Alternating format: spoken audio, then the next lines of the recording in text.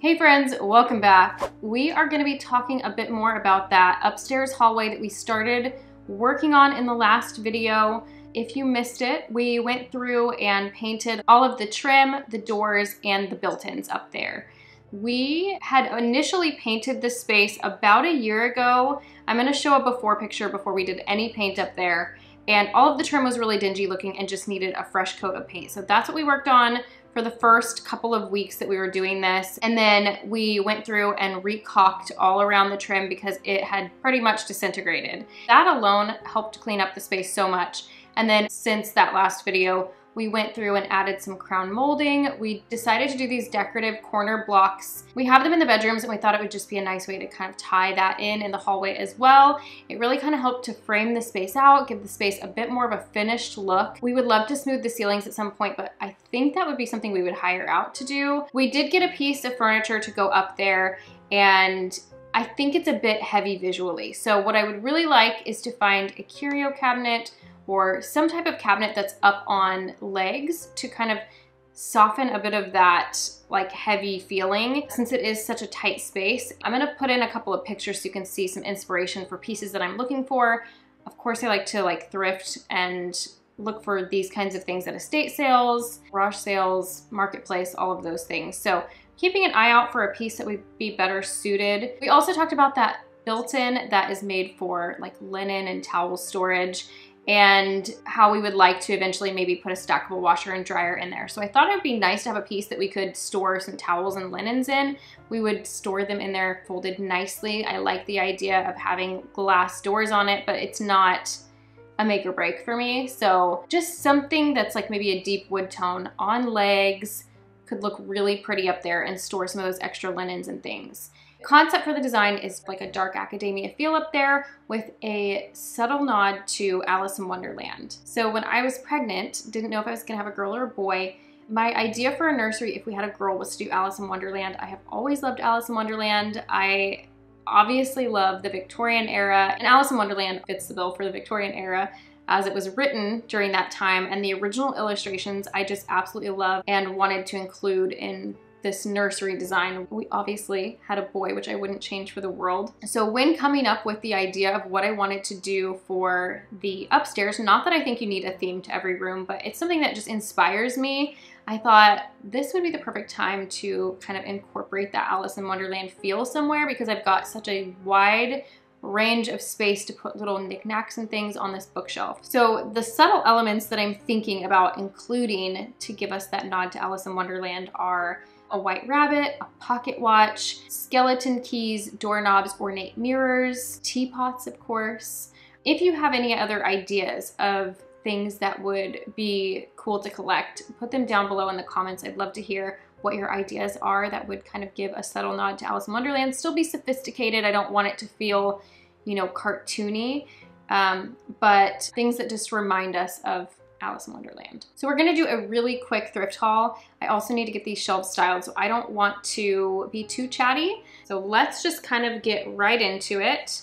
First up, this is probably my favorite thing that I got and it's this beautiful frame. It's got like a nice stormy landscape in it. We may change this out for something else if I find a different print that I think is better suited, but I can use this print in a different frame if that's the case. I believe this is just a standard 8 by 10 and I noticed when I got home that it also has this cute little girl on the back. I love the colors in it. This one actually might be better suited for the Alice in Wonderland theme. So yeah, we might use this one. It depends on how I use it. If I'm using it vertically, I'll probably use this. If I need to use it horizontally, which I may need to do, then I'll have to find a different print. But it was $8, really pretty, love the color of the frame. So this is one of a few different frames that I got. And I also got this one, which I really like. I love the shape of this. I think this is perfect for the bookshelves up there.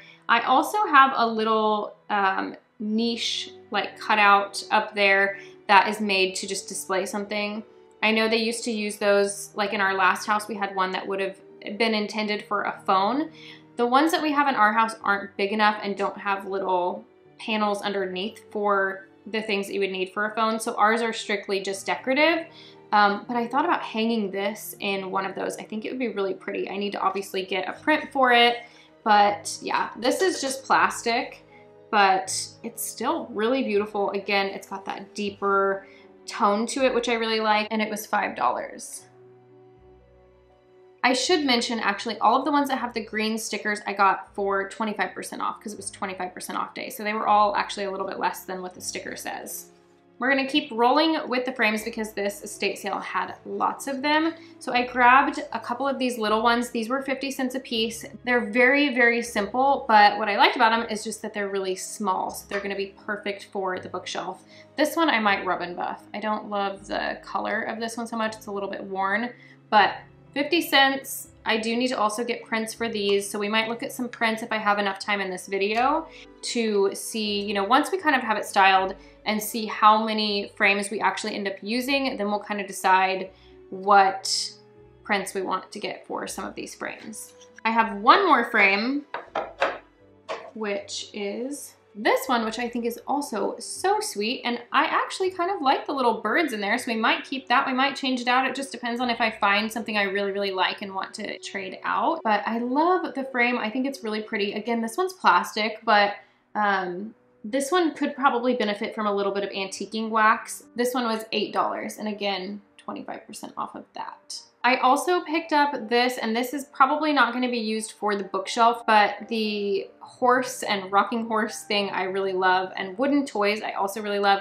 We're getting ready to refresh Jameson's room. So I actually picked this up for his room, um, but if we don't end up using it in there, I could definitely throw it on the bookshelf. And it was $5 for this little guy. And then I found this ceramic swan, which I've been actually seeing these everywhere on Instagram. I believe it's a planter, at least that's what most of the ones I'm seeing are for. It's just really pretty. And I, I don't know for sure if I'm gonna use it up on the bookshelf. I might. And I actually just shared in the last video that I found those black swans that I was planning on using on the shelves and I do intend to use those. I might use this one also. I mean, you can just have all the swans. The other thing that I got at that estate sale was this little sconce. It was just $4 brass sconce. There was only one of them, but whenever I see like a good deal on a little sconce, I feel like this is so easy just to throw on a wall somewhere with a candlestick and I just, I don't pass them up when they're at a good price like that. So that was all for the estate sale. And then for the antique store, I grabbed this little guy. I think it was like 350. So really inexpensive. I just thought it would be really pretty shelf filler. It actually matches, now that I'm looking at it, the design is really similar to the door knockers that I have in my house that I have shared before. Um, and I'm going to be putting one on one of the doors upstairs, so that will kind of tie that in. Some of the shelves that we have are really short, and so kind of having small things like this is perfect. I got this cloche. Now I did pay, I think I paid like $12 for the cloche, but um, it was just a perfect little bell cloche and I think on top of a book with something inside of it would be really pretty. So that's why I grabbed this. I just was on a mission to get things to style this bookshelf this weekend. So I went ahead and picked this guy up. So while we were at the antique store, I told Luke and Jameson we were on the hunt for a bunny. And I was like, I will take a brass bunny. I would love to have like a stone bunny. I actually found this really cool bust. I'll put a little picture on the screen. Um, I think I had it in the mood board, so you might see it in there. And I might order that one. I think it was around $60, so it would be, you know, a little bit of an investment. But if I felt like I had a good spot for it and it would fit perfectly, I would maybe get that. We did find a brass bunny though, so I had to pick it up. It was $8 but we were literally like searching for one the entire time through this huge antique store. So I was just like, I have to get the bunny. It's kind of the perfect time to be searching for a bunny because of Easter. So there were lots of bunnies, but just not the right bunnies. This was like the only one that I found that I really liked. This was an estate sale find. I'm not using these on the bookshelves, but I wanted to share them anyway. I have the goblets. You've seen me use them a million times if you've watched my videos before and a few other things. I've got a couple of vases. I've got just kind of, I've collected a lot of this collection, but I didn't have the dessert dishes and I found these at an estate sale. I got six of them for $5 so I went ahead and picked them up, wanted to share them. I love just having these for tablescapes and be perfect for little desserts, little parfaits or ice cream or something like that. So I thought these were perfect and I went ahead and grabbed them and wanted to share them because you guys know I'm a big fan of the Wexford design. I think it's just so pretty. I love the way it sparkles and so that's that. And kind of in the same family, I found this, which has a very similar feel to it. I got this for $8, but it was discounted to $6, I believe. So really cute. I like the little flowers on it. I just thought it was really sweet. I don't know that I'm gonna use this on the bookshelf. I might use it upstairs, but I might also use this somewhere else in my house. I just went ahead and grabbed it because I liked it. Then I also got some skeleton keys. They were in packs of two for $3 for each pack. And I want to figure out a way to incorporate these somehow into the bookshelf. I don't know if I will hang them on some of the books or um, maybe on some bottles. That was another thing that I would like to incorporate is bottles, which I have tons of vintage bottles, so I can absolutely use some of those for the bookshelves. And on the subject of bottles, I also got this cruet, and again, it's the Wexford design. I actually did get this for the bookshelf. I thought it would be really pretty up there. Just looks like a, like a pretty bottle that you would see in Alice in Wonderland or something. So that's why I got that one. Okay, so now that you've got a feel for some of the items that I picked up to use to style, we're gonna use some things I already have. I've got tons of vintage books that we're gonna use. I do think I probably need more, but as I collect more things and make decisions, including wallpaper, I will keep you guys updated, but let's go style with what we have now. I ended up styling this bookshelf over the course of a few days, so there's going to be a few different segments of styling throughout this video.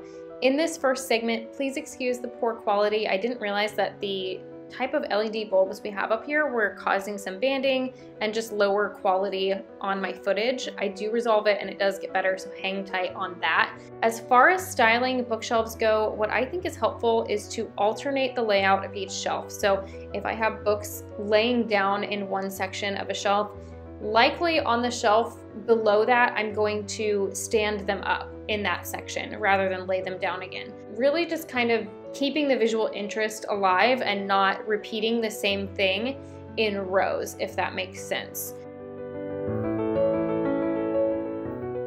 I really loved the look of this frame hung on the outside of the bookshelf like this. I didn't end up doing it because Luke kind of thought it looked strange and I ended up using the frame elsewhere, but I've been seeing it a lot in photos on Pinterest and I think it's a really interesting way to layer artwork into your bookcases. So I will probably keep that one in my back pocket and use that sometime in the future. I also like to face some of my books spine side out and some of them page side out. Now, I understand for functionality purposes, page side out doesn't make a lot of sense, but I do collect a lot of these old vintage and antique books that are just pretty for decorating. So I get it. I know a lot of people don't like it, but for me, I like it. It's just a style preference and you don't have to do that. It's totally fine. You can still have a beautiful bookshelf with all spines facing out. It is a little bit easier to control your color palette if you can flip around some of the books that don't match as well and have them page side facing out. But again, I think you can do it however you want to. There are no rules. And I also like to stick some decor pieces behind my books, some in front of my books, just kind of layer them in lots of different ways. Hopefully watching this gives you some ideas of how you can layer decor throughout your bookcases.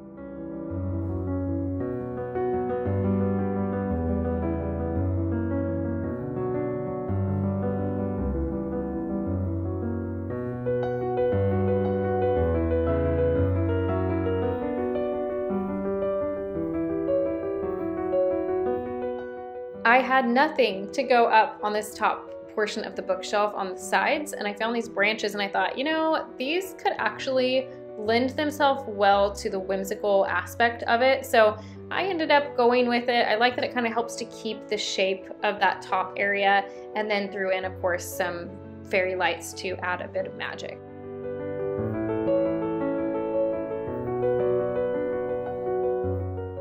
Okay, so when I got finished styling on Saturday, there was a whole second shelf. It's kind of a smaller shelf that I didn't have enough books for and really after styling all day I was feeling really good about everything that I had done but for that section I really wanted to have something that wouldn't cause your eye to continue to bounce around, something to kind of stabilize your eye a little bit. So I would love to have a bunch of like smaller matching books to go through the whole thing, but that will be difficult to find. It's something I'm gonna have to keep an eye out for.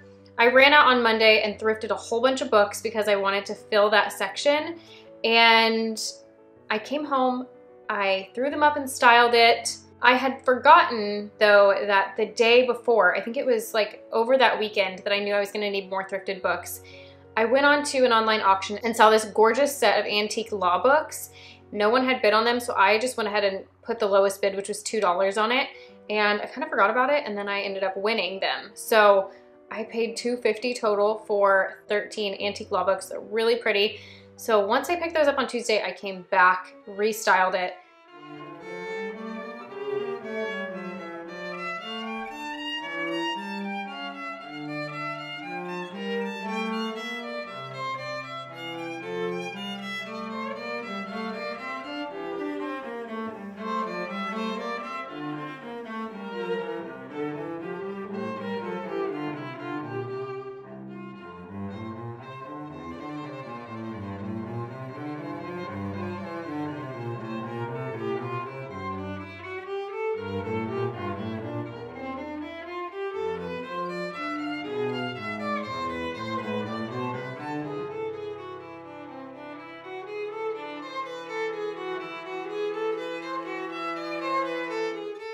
So over those few days, I was waiting on a couple of prints. I went on to Etsy. I also found a couple on the public domain, but I think all of these are available on Etsy. So I'll just link those all below for you.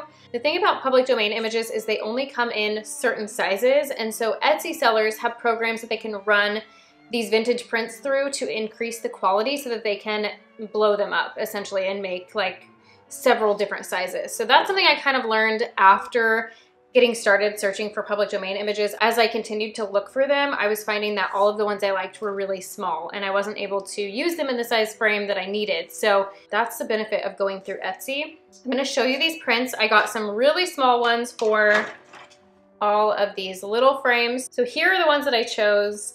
I love this one. I think it's so pretty in the brass vase, flowers. I'm hoping that these all look good in these frames because they're all oval. So we'll kind of see how they actually sit since I couldn't order them, you know, to to really know exactly how they were gonna look. So that's the first one. This one was one of the public domain images that I found. I didn't see this one on Etsy. This is the only one I think that I could not find on Etsy, but she kind of reminded me of Alice just with the lighter hair color and the pretty dress. So I went ahead and I edited the colors on this one again to kind of make it darker. Um, the quality is not as great on this one, so you can kind of see the difference. You know, this one is, I don't know if this one's technically like a vintage one, but you can kind of see the difference in quality. This was an Etsy purchase. This was one that I just found and without having that program to increase the quality, this is kind of the quality that I got. I have this owl one behind me actually, but I thought it would be perfect upstairs. I needed a smaller size. So I went ahead and ordered that one. I needed some 8 by 10s so I got this one. I thought was really pretty. This one, this is another one that I found on the public domain and I went through and edited, but this one is available on Etsy. And I got this one. I liked that last one so much that I ended up ordering it in a 20 by 24. So I had this one mounted to mat board to make it like nice and sturdy. I have a big thrifted frame that I'm gonna be putting this in, so I'll show you in just a moment. But I do get questions a lot on how I print these and who I go through, because of course you can go through um, Office Max or Walgreens, but I never get good quality when I do that. And so the company that I like to use is called Mpix. They are based in Kansas, so I love that I get them really quickly, but I will say, even if you live further away, they usually have all of my prints done within 24 hours of the order and they're shipping them out. So I think no matter where you live, you probably get them pretty quickly. What I always order, and I'll include all of this down below in the description box so you don't have to try to remember this, I always order the Giclée printing, which makes the colors really pretty and vibrant, and I order it on fine art paper. So as far as pricing goes, these little like five by sevens, Um, I mean, I did go and purchase most of the prints from Etsy, so you do have that cost as well. But to, just to get them printed, they were um, like around 250. These 8 by 10s are around $5. And then this one was 65 and then I added the mat board mount, which was an additional $15. I did have a discount. I think I was able to save 15 to 20%. On top of that, anytime you order and it exceeds $35, you get free shipping. This is not sponsored in any way. I just genuinely love going through Mpix for my prints. They always come out really beautifully. They get to me quickly. So I'll have it all down in the description box. I will also include my referral link. So if you would like to order prints through them, you can save $10 off of your first order. So let's get these frames filled because I'm excited to get these put up there so I can kind of see like the final result.